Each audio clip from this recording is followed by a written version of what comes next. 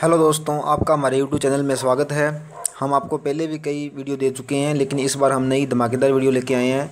यानी कि सी प्रोग्रामिंग के अंदर एक चैप्टर होता है एरे आज हम उसके ऊपर बात करेंगे। ये पॉलिटेक्निक के अंदर 208 किताब लगती है।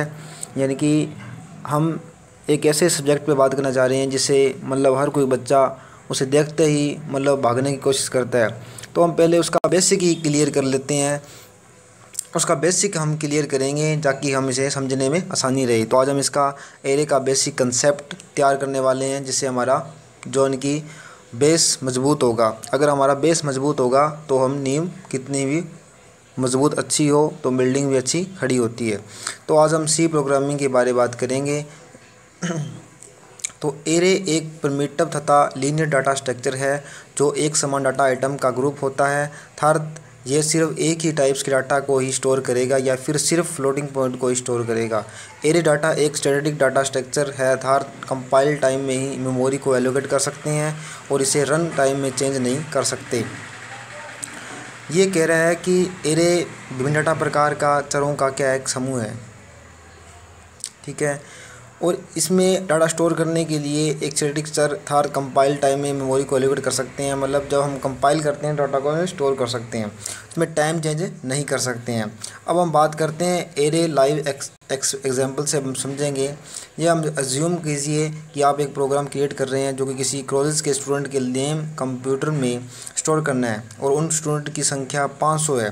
तो आप इन 500 स्टूडेंट के नेम किस तरह से स्टोर करेंगे? आपके मन में ख्याल आ रहा होगा कि पाँच वेरिएबल्स क्रिएट करके तो ऐसा करने से प्रोग्राम बहुत ज़्यादा कॉम्प्लेक्स हो जाएगा और मेथड से टाइम भी बहुत ज़्यादा लगेगा और प्रोग्राम में बहुत ज़्यादा बड़ा हो जाएगा और कंप्यूटर मेमोरी स्पेस भी वेस्टेज होगा। इस प्रकार की प्रॉब्लम को सॉल्व करने के लिए सी लैंग्वेज हमें एरे प्रोवाइड करता है जिससे हेल्प से हम इस प्रकार की प्रॉब्लम को सॉल्व कर पाते हैं।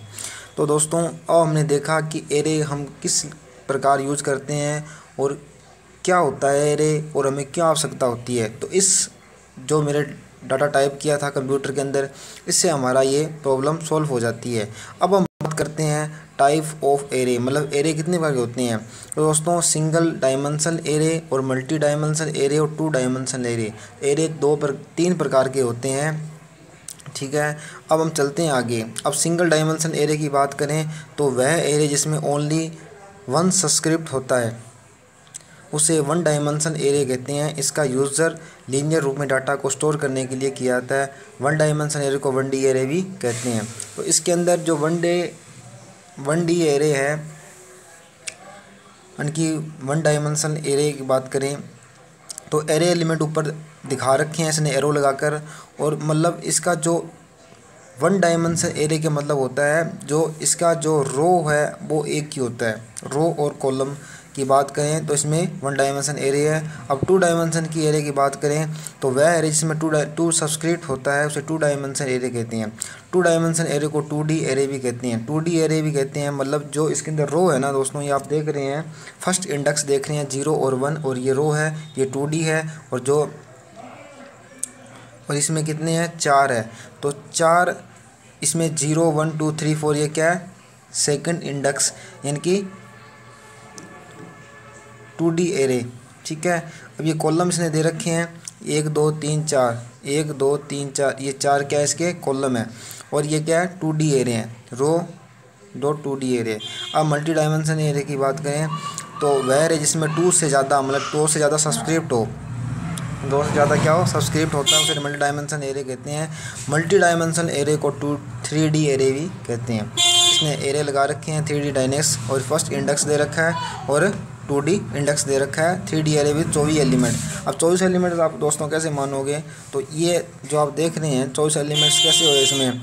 चार चार तीय बारह, चार कम चार तीय बारह. ये जो बारह आ गए चार को, जो तीन कॉलम है बारह, और इस साइड से देखें तो ये भी कितने हो गए? चौबीस हो गए. तो बारह दूना चौबीस.